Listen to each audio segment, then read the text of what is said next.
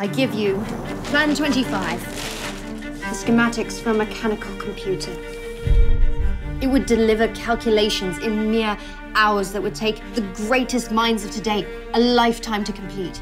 I've written the only algorithm designed specifically to work on the analytical engine. You're suffering. When will you acknowledge that you're unwell? It's a bit of a gamble on your solitary vision.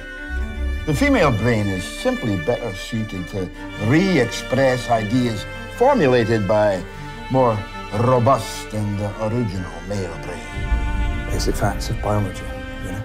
Gamblers have been using probability algorithms for centuries. None of them are as sharp as our Ada. I am at the doorstep of being able to transfer intelligence from mind to machine. It may be that the world is simply not yet ready for this idea.